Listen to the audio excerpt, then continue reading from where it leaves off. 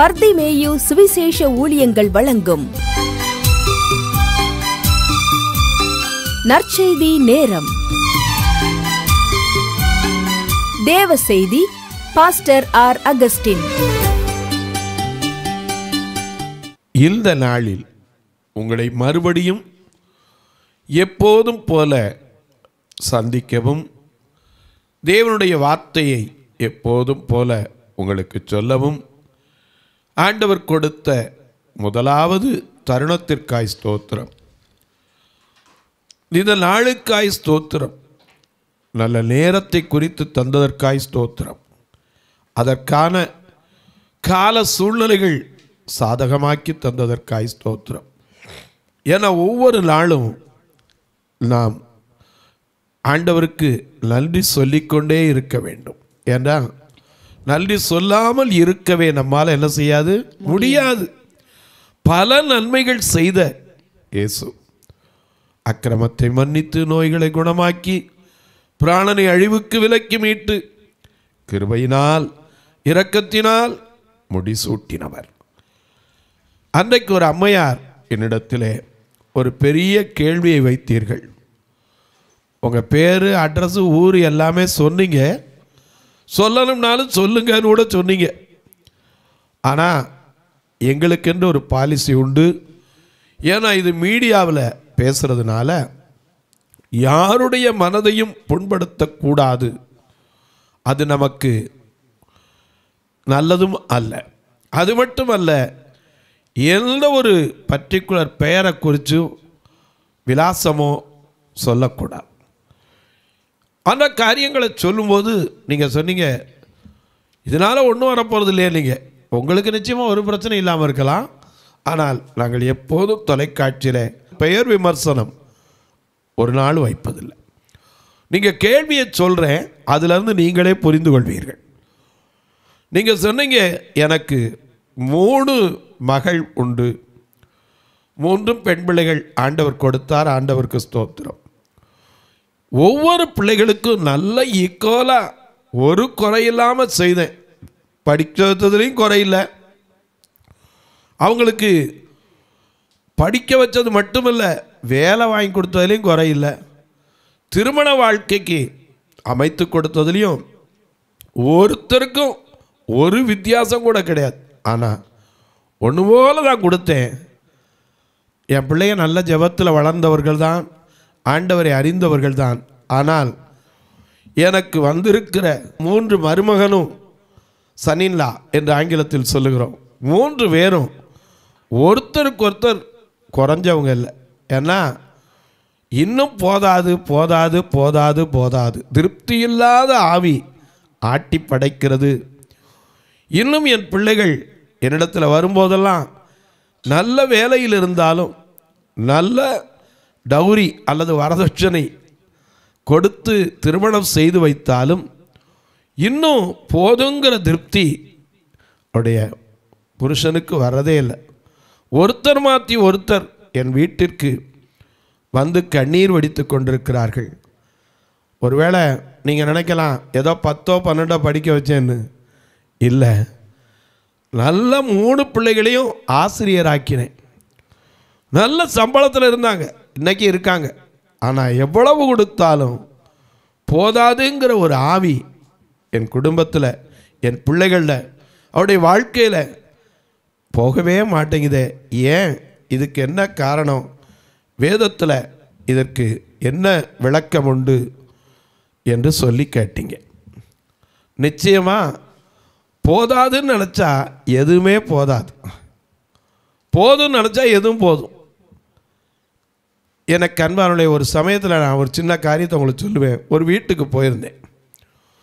அங்கே ஒரு அம்மையார் விருந்து வைத்தார்கள். நல்ல பூரி பொறித்து குருமா வச்சு நல்லா சாப்பிட வச்சாங்க. ஆனால் அவங்க பிசைஞ்சது மாவு. கிட்டத்தட்ட ரெண்டு கிலோ மூணு கிலோ இருக்கும். எல்லாருக்கும் நல்ல திருப்தியாக இருக்கணும். ஆனால் எடுத்து போட போட போட ஒரு நபரே சாப்பிட்டு தீரலை. மாவு காலி ஆகிற வரைக்கும். கடைசியில் தான் புரிஞ்சு அவங்க சாப்பிடலை. பிசாசு தான் சாப்பிடுது. போதாது என்கிற எண்ணம் மனிதனுக்குள்ளே கொண்டு வருகிறது. அது பிசாசின் சிந்தை என்று தான் சொல்லலாம். ஏன்னா மனுஷனுக்கு திருப்தியற்ற தன்மை இருக்கணும். ஆனால் திருப்தியே கிடையாது. திருப்தி அடையணும். எதுலனாலும் சாட்டிஸ்ஃபேக்ஷன் இருக்கான்னா நோ நீங்கள் அதைத்தான் சொல்லி வேதனைப்பட்டீங்க. வேதத்தில் அநேக காரியங்கள் உண்டு. உங்களுக்கு சொல்கிறேன் நீங்களும் என்னோடு சேர்ந்து உங்களுடைய வேதாகமத்தை எங்கே இருந்தாலும் தேடி கையில் எடுத்து வைத்துக்கொண்டு நான் முன்னமே இதுக்கு ஒரு செய்தி கொடுத்திருக்கிறேன். இருந்தாலும் நீங்கள் கேட்டதினாலே உங்கள் கேள்விக்கு பதில் சொல்ல வேண்டும். அது கடமை என்பதை அறிந்ததினால் மறுபடியும் உங்களுக்கு சொல்லுகிறேன். ஒன்று தீமத்தையு ஆறாம் அதிகாரம் ஆறாவது ஏழாவது வசனத்தை கையில் எடுத்து எல்லாரும் வச்சுக்குவீங்களா? அப்படி எடுத்து வச்சு எல்லாரும் தேடி எடுக்கிற வரைக்கும் பாடுவோமா? அல்லல்லுயா நெஞ்சத்திலே தூய்மை உண்டோ? ஏசு அழைக்கிறார். லோகம் கொண்ட நெஞ்சத்தையே ஏசு அழைக்கிறார். நெஞ்சத்தை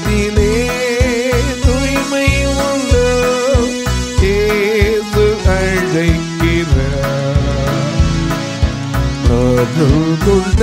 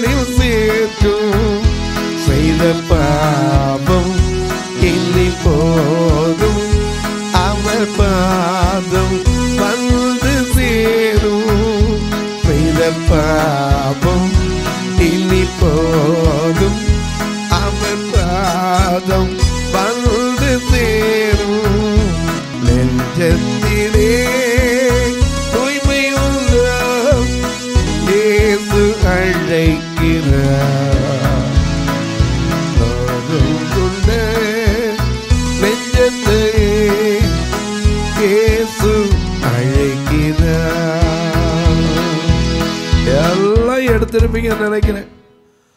வாசிக்கலாமா? ஒன்று தீமத்தையு ஆறாம் அதிகாரம் ஆறாவது ஏழாவது வசனம்.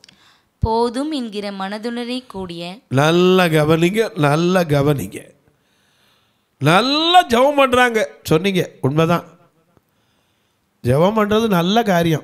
நல்லா பைபிள் வாசிக்கிறாங்க. உண்மை. எந்த ஜபத்துக்கும் போகாமல் இருக்கிறதே இல்லை. நல்லது.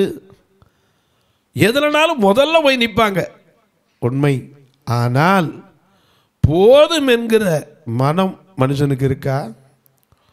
இன்னைக்கு யாருக்கும் கிடையாதுன்னு தான் சொல்லலாம்.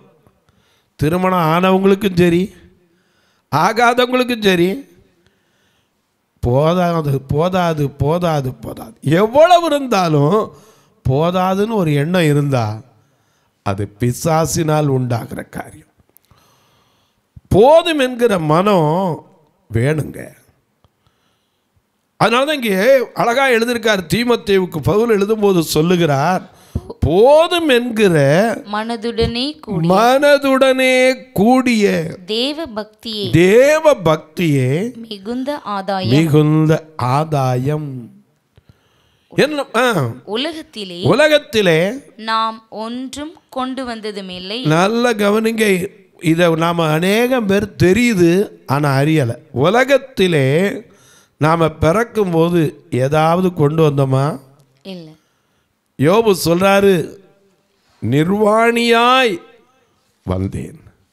நிர்வாணியாய் போகிறேன் என்று யோபு ஒன்று இருபத்தொன்றில் பார்க்கிறோம். எல்லாத்தையும் இழந்த போது அவர் சொன்னார் ஒரே நாளில் தனக்கு இருந்த ஆசீர்வாதங்கள் தனக்கு இருந்த செல்வங்கள். ஏன்னா அந்த காலத்தில் ஒட்டகம் கழுத ஆடு மாடுகள் தான் செல்வம். அத்தனையும் ஒரே நாளில் போயிடுச்சு.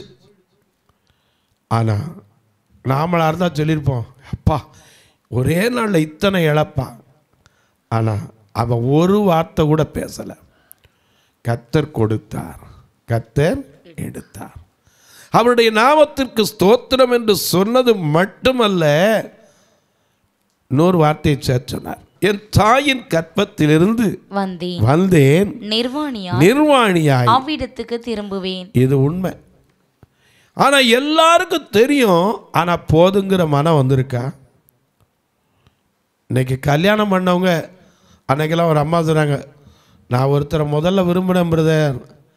அவரே கல்யாணம் பண்ணியிருக்கலாம். ஆனால் ஐயோ அம்மா அப்பா சொல்ல கேட்கணுமேன்னு இவரை கல்யாணம் பண்ணேன். பண்ணலேருந்து பாருங்க. ஒரு எனக்கு சந்தோஷமே இல்லை. என்னம்மா குடிக்கிறாரா? இல்லை. வேலை செய்யாமல் இருக்காரா? இல்லை. என்ன செய்கிறாரு வீட்டிலே தான் இருக்கார் பிரதர். வெளியே எங்கேயும் போவார்னு பார்த்தா போகவே மாட்டேன்றார். வேலைக்கு போகிறார் வீட்டுக்கு வந்துடுறார். என்ன போகிறான வாழ்க்கை? ஏதோ ஒரு நாலு இடத்துக்கு கூட்டிகிட்டு போனால் நல்லா சுற்றணும் செலவழித்தோம் அதெல்லாம் கிடையாது. கேட்டால் சொன்னார் வீணான செலவு எதுக்குமாங்கிறார். எனக்கு கண்பானுடைய திருப்தி எதில் தாங்க வந்திருக்கு வாழ்க்கையில்? போதுங்கிற மனம் ஒரு மனுஷனுக்கு பெரியவங்களாக இருக்கலாம் சின்னவங்களாக இருக்கலாம் யாராக இருக்கலாம் இந்த போதும் என்கிற எண்ணம் இல்லாட்டா என்ன பிரயோஜனம்? நாம் சொல்லுவோம் தேவ பக்தி நல்லது. ஆனால் போதுங்கிற மனம் இல்லாத தேவ பக்தி இருந்து என்ன பிரயோஜனம்? உலகத்தில் எங்கே சுற்றி பார்த்தாலும் நீங்கள் எவ்வளவு தான் வச்சுருந்தாலும் சரி கொண்டு வந்தது ஒன்றும் கிடையாது. வெறும் தாயின் கற்பத்திலிருந்து நிர்வாணியாய் வந்து விழுந்தோம். அதுக்கப்புறம் தான் அலங்கரிக்கப்பட்டது ஒரு சமயத்தில் ஒரு அடக்க ஆராதனைக்கு போயிருந்தேன். அப்போ போயிருக்கும்போது ஒரு சின்ன காரியம் நடக்குது முடிஞ்ச உடனே ஆரம்பிச்சிட வேண்டிதான் அப்படின்னாங்க. எனக்கு ஒரு ஆசை என்ன காரியம் நடக்குதுன்னு தெரிஞ்சுக்கணும். ஏன்னா மற்றவங்க கண்ணிட்ட பார்த்து தெரிஞ்சுக்குவாங்க. எனக்கு தெரியாதனால என்ன பிரதர் செய்கிறாங்க ஒன்றும் இல்லை. அந்த பொண்ணு செத்துட்டா உயிரோடு இருக்கும்போது நகை மேலே அவ்வளோ ஆசைப்படுவா. ஆகையினால இப்போ அவளுக்கு எல்லா நகையும் போட்டு ஒரு ஃபோட்டோ எடுத்துட்டு அதுக்கப்புறம் மற்ற காரியம்லாம் பண்ணும் அவ்வளோ நகையும் போட்டு ஃபோட்டோ எடுத்துகிட்டு கடைசியில் ஒன்றுமில்லாம கொண்டு அடக்கம் பண்ணோம் என்ன அர்த்தம்? வரும்போதும் ஒன்றும் கிடையாது போகும்போதும் ஒன்றும் கிடையாது. ஆனால் இந்த போதுங்கிற எண்ணம் மனுஷனுக்குள்ள இன்னைக்கு வந்துருதா? என்னைக்கு? ஆதியிலேருந்து இன்னைக்கு வரைக்கும் எதை எடுத்தாலும் போதாது போதாது. வாழ்க்கையில் மனுஷனுக்கு வாழ்நாளில் கூட திருப்தியோடு போகிறானான்னு சொல்ல முடியாது. ஏன்னா அந்த காலத்தில் ஒரு கதை சொன்னாங்க. கடவுள் இறைவன் ஒரு நாள் கடை விரித்தானான் அப்படி கடை விரித்த போது அவன் கூப்பிட்டு சொன்னானா வாங்க உங்களங்களுக்கு தேவையான வாழ்க்கை வாழ்வதற்கு ஆண்டுகளை பெற்றுக்கொள்ளுங்கள் என்றான். முதலில் சென்றவன் மனிதன். அப்போ அவர் சொன்னார் உனக்கு ஒரு இருபது வருஷ காலம் கொடுக்கிறேன் போதுமா? என்றார். அவன் சொன்னான் ஆண்டவரே எனக்கு போதாது. ஏன் நான் இருபது வயது தான் வாலிப வயது. அப்போந்தான் அப்படி இப்படிலாம் சந்தோஷமாக இருக்கிற வயசு. இந்த இருபது வயசு போதுமான கேட்டால் என்ன நியாயம்? அது வரைக்கும் டீனேஜ் டீனேஜ்னு ஒதுக்கிட்டாங்க. இந்த இருபதுக்கு பின்னாடி தான் வாழ்க்கையில் சந்தோஷங்கிறதே வருது. இருபது போதுமான்னு கேட்டிங்களாச்சா என்ன இது? எனக்கு இதுதான் பத்தாதுன்னு. உக்காந்தார் அடுத்தாப்புல ஒரு நாயை கூட்டு கேட்டார் உனக்கு ஒரு இருபது தாரேன்னுச்சு. அது சொல்லிச்சு எனக்கு வேண்டாம். இப்போ நீங்கள் கொடுத்துருக்கதே ரொம்ப ஜாஸ்தின்னுச்சு. ஏன்னு கேட்டாங்க. எவனாவது வெயிலில் அலைஞ்சிட்டு வந்தால் கூட என்னத்தான் வயிறான் ஏன் நாய் மாதிரி அலையிறேன்னு? ஆறு நிறைய தண்ணி போனாலும் நாய்க்கு தத்துற நக்கி குடிக்கணும்னு பழமொழியெல்லாம் சொல்கிறாங்க எனக்கு வேண்டாம் அந்த இருபது. உடனே மனுஷன் சொன்னான் எனக்கு போதாதுங்கிறேன். அதுக்கு போதும் போதுங்கிற ரெண்டு கொண்டு கொடுத்துருக்கு ஏன்ட்ட கொடுக்கலாம் நாற்பது. வவ்வாலை கூப்பிட்டார். உனக்கு ஒரு இருபது வருஷம் தாரம் வாழ்ந்து பார்க்குறியானார் அது சொல்லிச்சு எனக்கு வேண்டாம் ஏன் போதுமையாக இருக்கிறதே என்ன அப்படி சொல்கிறேன் நான் தங்களா கீழே அப்படி தொங்குறேன். பார்க்குறவன் சுட்டுப்படுறான் சாப்பாடும் ஒரு வழி மலமும் ஒரு வழி. என் வாழ்க்கை தொங்குற வாழ்க்கை வேண்டான்னுச்சு மனுஷன் சொன்னான் அதுக்கு வாழ தெரியாதியா?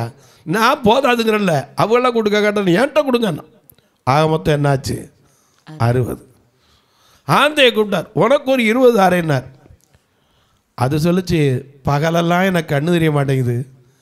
ராத்திரியானா கண்ணு தெரியுது. யார் வீட்டில் போய் உட்கார்ந்தாலும் என்னை வெறுக்கிறாங்க. எனக்கு இருக்கு இருபதுன்னுச்சு மனுஷன் சொன்னால் போதுமா? போதாது. இதையும் கொடுங்க ஐயா எண்பது வயசு. சங்கீதம் தொண்ணூறு பத்தின்படி மனுஷனுடைய ஆயுசு நாட்கள் எழுபது வருஷம். பலத்தின் மிகுதியினால் எண்பது வருஷம். என்று வேதம் சொல்லுகிறது. இந்த எண்பது வருஷ காலத்தில் வந்து வாழ்ந்து பார்த்துட்டு கடவுளில் போய் சொன்னா நான் போதும் போதும் ஐயா. இந்த மனித வாழ்க்கை என்னன்னா ஏன்னா இருபது வயசு வரைக்கும் அப்பா அம்மாட்ட கல்லூரி வாழ்க்கை. இஷ்டப்படி செலவழிக்கலாம். அவங்களுடைய கஷ்டம் நஷ்டம் தெரியாது. இருபது பிறகு படித்து முடித்து ஒரு இருபதோ இருபத்தஞ்சில் கல்யாணம் பண்ணியாச்சுன்னா பொண்டாட்டி ஒரு பக்கம் அரிப்பு. வேலைக்கு போகலையா? நல்ல வேலை பார்க்கலையா? எவ்வளோ கொண்டாந்துருக்கே தினம் அரிப்பு. அதை காட்டிலும் பார்த்தீங்கன்னா இந்த நாற்பது வயசுக்குள்ளே வேலை தேடி பிடிக்கிறது பெரிய பாடு. நாய் அலைஞ்ச பாடு. என்னங்க போனீங்களே என்னாச்சு? போனேன் அது ஒன்றும் கிடைக்கல. சும்மா போயிட்டு போயிட்டு வரீங்களே என்ன? இவருக்கே கோவம் வந்து எதுக்கு வைக்கிறேன் வீட்டில் வந்தால் குலைக்கிறார். ஏன்னா கடன் வாங்கினது எங்கே? இயற்கையாக கொடுத்த வயசு இல்லை கடன் வாங்கின வயசு. நாற்பதுக்கு பிறகு ஏதோ கொஞ்சம் பிள்ளை குட்டியெல்லாம் வளர்ந்து கல்யாணம் பண்ணி கொடுக்குற பருவம் வந்தால் போய் பிள்ளைகளுக்கா பொண்ணு பார்க்க பிள்ளைய கொண்டு படிக்க வைக்க நாயா அலைஞ்சு வளர்த்து கடைசியில் கல்யாணம் பண்ணி கொடுக்க விஎஃப் கிராஜுவேட்டு இப்போ அதுவும் வருது என்னமோ. எல்லாத்தையும் பேப்பர்லாம் கொடுத்து மொத்தமாக கல்யாணம் பண்ணி கொடுத்து வரோம். அதுக்கப்புறம் மருமான்ட்டையும் மகட்டையும் தொங்க வேண்டியிருக்கு சோத்துக்கு. அறுபதுக்கு பிறகு தூக்கம் வராது.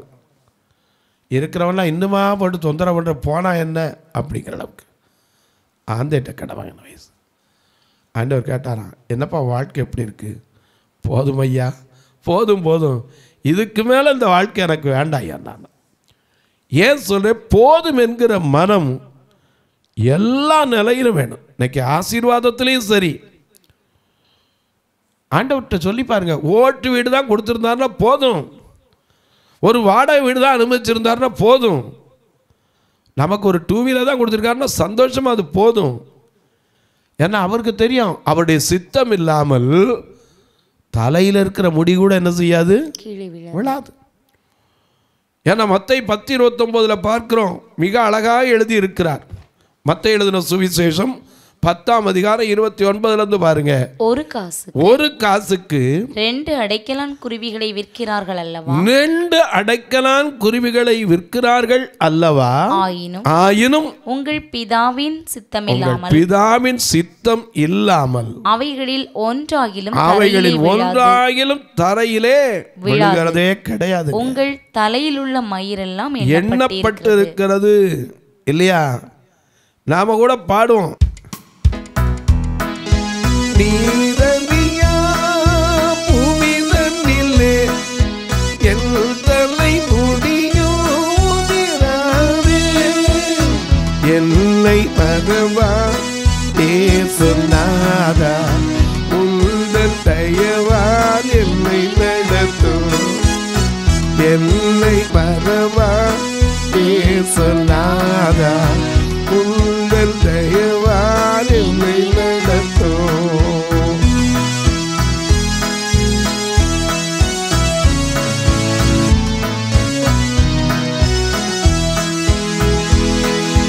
ஐயா தாய்த்தன் சேய கூட மறக்கலாம். ஆனால் தாய்த்தன் சேயை மறந்து விட்டாலும் ம் தாய்த்தன் சேயை மறந்து விட்டாலும் நரவேன் என்று சொன்னதால ஸ்தோத்திரம் சொன்னோம் ஆண்டவர் நமக்கு கொடுத்தது போதும்னு நினைக்கணுங்க. அன்னைக்கெல்லாம் என்கிட்ட ஒருத்தர் கேட்டார் உங்களுக்கு கண்ணை கொடுத்தா எப்படி இருக்கும்? இப்போ திருப்தியாக இருப்பீங்களேன்னார். நான் சொன்னேன் இருக்கிறதோட இன்னும் நிம்மதி போயிடும்னே ஏன் தெரியுமா? உலகத்தில் பார்த்து ஆரம்பிச்சிட்டோம். உடனே ஆசை ஆசை ஆசை எல்லாத்துலேயும் வந்துடும் பார்க்காம இருக்கிற வரைக்கும் ஆண்டவருக்கு ஸ்தோத்திரம். போதும் என்கிற மனதை நாம் முதல்ல உண்டாக்கிக்கணும். நமக்கு கொடுத்துருக்கிற அளவு போதும். நமக்கு கொடுத்துருக்கிற குடும்பம் போதும். நம்ம கொடுத்துருக்கிற மனம் இன்றைக்கி நிறைய பேருக்கு பார்த்தீங்கன்னா அவளை கட்டியிருந்தா நல்லா இருந்திருக்கும். இவன் அழகே இல்லை. அவளை கட்டி போனப்பறம் தான் தெரியும். அழகு உள்ள ஆபத்தும் இருக்குன்னு. இன்னைக்கு அநேக நேரங்கள் அது விளங்குறது இல்லை மக்களுக்கு. போதும் என்ற மனம் திருப்தியே இல்லாமல் இருக்கு. அன்னைக்கு ஒரு பொண்ணு என்கிட்ட கண்ணீர் விட்டாளுதா எனக்கு முப்பத்தி ரெண்டு வயதாகுது. இதோட பதினேழு பேர் பெண் பார்க்க வந்துட்டாங்க. நான் கொஞ்சம் கருப்பாக குள்ளமாக இருப்பேன். என்னை பார்த்துட்டு இந்த பொண்ணு எதுக்கு இதெல்லாம் போதாதுங்க. இதெல்லாம் போதாது. எல்லாம் போய் போய் போய் போய் போயிடுறாங்களோ ஒரே ஒருத்தர் கூட பதில் சொல்ல பிரதர். ஏன் எனக்கு வாழ்க்கையில் ஆண்டவர் இப்படி தான் வச்சுருப்பாரா? நான் சொன்னேன் இல்லைம்மா. கருப்பாக இருந்தாலும் உன் அழகுக்கு ஒருத்தர் வைத்திருப்பார்னு சொல்லி மூணு மாதத்தில் அவர் சொன்னால் எனக்குன்னு கத்தர் ஒருத்தரை கொடுத்துருக்கிறார். போதும். நான் சந்தோஷமாக இருக்கேன். ஏன் சொல்கிறேன் போதும் என்கிற எண்ணம் உனக்குள்ள எனக்குள்ள இருக்குமானால் இன்னைக்கு அநேகருக்கு பார்த்தீங்கன்னா திருப்தி அடைந்துட்டோம் அப்படின்னு சொன்னால் தேன் கூட்ட கூட மிதிக்கிற நிலை வந்துடும் ஒரு சமயத்தில் ஒருத்தர் சொன்னார் என்ன சொன்னார்? நான் என் சொந்தக்காரங்கள்லாம் வாசலில் கழட்டி போடுற செருப்பு மாதிரி தான் வச்சுக்கிறேன் என்ன துணிகரமான வார்த்தை பாருங்கள் ஏன்னா பணம் வந்துருச்சுன்னா மனைவி பிடிக்காது. வீட்டு சாப்பாடு பிடிக்காது. பணம் கொஞ்சம் கையில் இருந்துச்சுன்னா குடும்ப வாழ்க்கையில் வீட்டுக்குள்ளே உட்காந்துருக்க கூட வேற எங்கேயா உட்காந்துருக்க தான் பிடிக்கும். ஆலயம் பிடிக்காது ஜபம் பிடிக்காது காசு வந்துருச்சுன்னா இருக்காது. ஐயா ஒன்றை நாம் தெரிந்து கொள்ளணும். கவியரசர் கண்ணதாசன் சொன்னார் கையிலும் பையிலும் ஓட்டம் இருந்தால் கூட்டம் இருக்கும் உன்னோடு. தலைகளை ஆட்டும் பொம்மைகளெல்லாம் தாளங்கள் போடு பின்னோடுனார் கைக்கும் பைக்கும் ஓட்டம் இருக்கிற வரைக்கும் நிறைய பேர் நம்மளோட இருப்பான். அதுக்கப்புறம் யார் நிற்பா மனைவி என்பவள் இல்லாமையில் கூட கூட இருக்கிறவங்க. ஆனால் இன்னைக்கு அநேகருக்கு மனைவியை பிடிக்காது பணம் வந்துருச்சுன்னா. சிலருக்கு மனைவியை வெளியே கூட்டி போகிற கூட பிடிக்காது. ஏன்னா காசு வந்துட்டா இவ்வளோ போய் கூட்டு போய் என்ன வேணா ஆண்டவர் கொடுத்துருக்கிற அழகு எதுவாக இருந்தாலும் போதும். ஒரு சமயத்தில் ஒரு கணுதிரி அவரை கல்யாணம் பண்ணியிருந்தாங்க ஒரு அம்மா. அவருக்கு நல்ல வேலை. திருவள்ளூர் டிரான்ஸ்போர்ட் கார்பரேஷனில் வேலை பார்த்தார். அப்படி வேலை ஆகுமா? அந்த அம்மா என்ன செய்ய தெரியுமா? வெளியே வந்துருச்சுன்னா இவர் கையை பிடிக்காது. ஏன்னா அதுக்கு வெட்கம் போயும் போய் இப்படி என்ன கொடுத்துட்டானே. திருப்தியற்ற தன்மை. ஆனால் இப்போ இறந்த பிறகு அந்த பென்ஷனுக்கு ஓடுது. அப்போ விட்டுற வேண்டியதானே ஒன்றை நீங்களும் நானும் அறியணும். போதும் என்கிற எண்ணம் என்னைக்கு நமக்கு வருதோ அன்னைக்கு ஆசீர்வாதம். இந்த போதாது போதாது போதாதுங்கிற எண்ணம் எவ்வளோ பெரிய மனுஷனுக்குள்ளே இருக்கத்தான் செய்யுது. நீங்கள் எவ்வளோ கொடுத்தாலும் மேன் கேனாட் பி சாட்டிஸ்ஃபைடு மனிதனை திருப்திப்படுத்த முடியாது. ஆனால் அந்த ஆவி எங்கேருந்து வருது தெரியுமா? பிசாசினுது நீங்கள் நினைக்கலாம் மனுஷனுக்குள்ளே வருதுன்னு. பிசாசு உள்ளுக்குள்ளே வந்துருச்சுன்னா சரி. எவ்வளவு சாப்பாடு கொடுத்து பாருங்க. சிலருக்கு பார்த்தீங்கன்னா தண்ணியிலே போய் ஒழுகணுங்க தண்ணியில் ஒழுங்கும் தெரிஞ்சு ஆனால் அதுக்கு போதாது. அங்கே தான் ஓடணும் தீர போய் நிற்கணுங்க சாப்பாடு கொடுத்தா சிலர்லாம் பார்த்தீங்கன்னா சாப்பாடு சாப்பாடு சாப்பாடு. அந்த உள்ளே இருக்கிற ஆவி சாப்பிடு இவனுக்கு ஒன்றுமே சேராது. சில நேரத்தில் ஆசையினால் அநேக சேர்த்து வச்சு நிம்மதி இழந்து போதாது போதாது போதாதுன்னு சொல்லி தன் வாழ்க்கையே இழந்தவர்களும் உண்டு. தொலைக்காட்சியில் பார்க்கிறவர்களே என் அன்பு மக்களே அம்மா நீங்கள் கேட்ட கேள்விக்கும் உங்களுக்கு பதில் சொல்லிட்டு வர தொடர்ந்து கேளுங்க. போதும் என்கிற மனம் என்னைக்கு வருதோ அன்னைக்கு நிம்மதி இருக்கும். போதாதுன்னு சொன்னால் நிம்மதியும் இருக்காது. அதனால தான் நமக்குள்ளே எப்போ சொல்லணும் ஆண்டவரே நீர் கொடுத்திருக்கிறது போதும். நீங்கள் எனக்கு கொடுத்திருக்கிற ஆசீர்வாதம் போதும். அழகாக பாடணும். ஒரு வரி பாடி முடிப்போமா? நீங்க போதும் ஏசப்பா. உங்க சமூகம் எனக்கப்பா. நீங்க போதும் ஏசப்பா. உங்க சமூகம் எனக்கப்பா. ஆண்டவர் போதுங்கிற எண்ணத்துக்கு வந்துட்டீங்கன்னா அவர் சகலத்தையும் செய்ய வல்லவர். அவர் செய்ய நினைத்தது தடைப்படாது. ஆமாம் தொலைக்காட்சியில் கேட்பதோடு நிற்காம ஒரு வார்த்தை உடைய ஜபங்களில் வைங்க. இந்த நிகழ்ச்சி தொடர்ந்து வருவதற்கான தேவைகள் சந்திக்கப்பட ஜெபிங்க. திருநெல்வேலியில் ஒரு சமையலுக்கு கூட அறை கட்டி வருகிறோம். பார்வையற்ற மக்கள் தங்குறதுக்கும் இன்னும் ரூம் கட்டணும். ஆண்டவர் அதற்கு தேவைகளை சந்திக்கணும். முதல்ல சமையல் அறை ஒன்று கட்டினா தான் அவங்கள உட்கார சாப்பிட வைக்க முடியும். உள்ளேயே இப்போ நீங்கள் போனீங்கன்னா கூட பார்க்கலாம். தங்கியிருப்பாங்க. ஆண்டவர் அதற்கான தேவைகளை சந்திக்கணும் ஒரு சதுரடி ஆயிரத்தி எண்ணூறுரூவாய்க்கு குறைஞ்சி இன்னைக்கு கட்ட முடியல. அதுவும் கட்டுமான பொருட்கள் கிடைக்கிறதே பெரிய பாடு. ஆண்டவர் சிலர் எழுப்பி தரணும். ஒரு சதுரடி ரெண்டு சதுரடியோ கத்தர் ஏவினால் நீங்களும் தாங்கலாம். ஒரு நாள் ப்ரோக்ராம் ஜஸ்ட் ஃபோர் தௌசண்ட் ஆண்டவர் ஏவினால். கட்டாயம் அல்ல அல்ல பார்வையற்றோர் மறித்தா கூட சொந்தக்காரன் கை நீட்ட மாட்டான். திருநெல்வேலி மாவட்டத்துக்குன்னு ஒரு ஃபியூனரல் ஃபண்ட் உருவாக்கணும். நீங்களும் அதிலே தாகமுள்ளவர்களாக இருந்தால் அதில் பங்கு பெறலாம். ஒரு பங்கு பத்தாயிரம் ரூபா தான். ஆனால் நீங்கள் செய்த நன்மை காலாகாலத்திற்கும் அது பேசிக்கொண்டே இருக்கும். உங்கள் ஜபக்காரி எது இருந்தாலும் எப்பவும் நீங்கள் சொல்லலாம். உங்களுக்கு எப்படியா தொடர்பு கொள்வது என்கிட்ட ரெண்டு நம்பர் வருது. நீங்கள் இந்த ரெண்டு நம்பர்லேயுமே பார்க்கலாம். கூகுள் பே உண்டு ஃபோன்பே உண்டு. ஒன்றில் பிளைண்ட் மினிஸ்ட்ரின்னு இருக்கும். இன்னொன்றில் பிஜிஎம்னே இருக்கும். தாராளமாக நீங்கள் அதில் தொடர்பு கொள்ளலாம். கத்தர் ஏவினால் தாங்கலாம். ஏன்ட்ட கேட்டாலும் சொல்லுவேன் எப்போதும் உங்களுக்கு ஜெபிப்பேன். இப்போவும் ஜெபிக்கட்டுமா? நல்ல பிதாவே நன்றியோடு துதிக்கிறோம். இந்த நல்ல நாளிலே. போதும் என்கிற மனம் வேண்டும் சுவாமி. ஒவ்வொரு குடும்பத்திற்கு வேண்டும் ஒவ்வொரு பெரியவருக்கு வேண்டும் ஒவ்வொரு சிறியவருக்கு வேண்டும். இந்த போதும் என்கிற மனம் ஒரு மனுஷனுக்குள்ள வந்துட்டா எத்தனை சந்தோஷம். அந்த சந்தோஷத்தை அனுபவிக்கிற பாக்கியத்தை ஒவ்வொருவருக்கும் கொடு. இயேசுவின் நாமத்தில் ஜெபிக்கிறேன். நல்ல பிதாவே ஆமே சபை ஆராதனை ஞாயிறு முதல் ஆராதனை காலை எட்டு மணி முதல் பத்து மணி வரை. இரண்டாவது ஆராதனை காலை பதினோரு மணி முதல் ஒரு மணி வரை. இடம் பர்திமேயு சுவிசேஷ ஊழியங்கள் அன்னை சத்யா நகர் இளமனூர் அஞ்சல் சக்கிமங்கலம் வழி மதுரை மாவட்டம். பின்கோட் ஆறு இரண்டு ஐந்து இரண்டு பூஜ்ஜியம் ஒன்று. சிறப்பு உபவாச கூட்டம் ஒவ்வொரு மாதமும் இரண்டாவது சனிக்கிழமை காலை பத்து மணி முதல் ஒரு மணி வரை. Nagercoil water tank road imperial திருமண மண்டபத்தில் நடைபெறுகிறது. ஒவ்வொரு மாதமும் நான்காவது சனிக்கிழமை காலை பத்து மணி முதல் ஒரு மணி வரை திருநெல்வேலி புதிய பேருந்து நிலையம் அருகிலுள்ள கிரேஸ் ஹாலில் நடைபெறுகிறது. தேவ செய்தி பாஸ்டர் ஆர். அகஸ்டின். பாடல் பர்திமேயு பாடல் குழு. எங்கள் எல்லா ஆராதனைகளிலும் கலந்து கொண்டு தேவனை மகிமைப்படுத்த அன்பாய் அழைக்கிறோம்.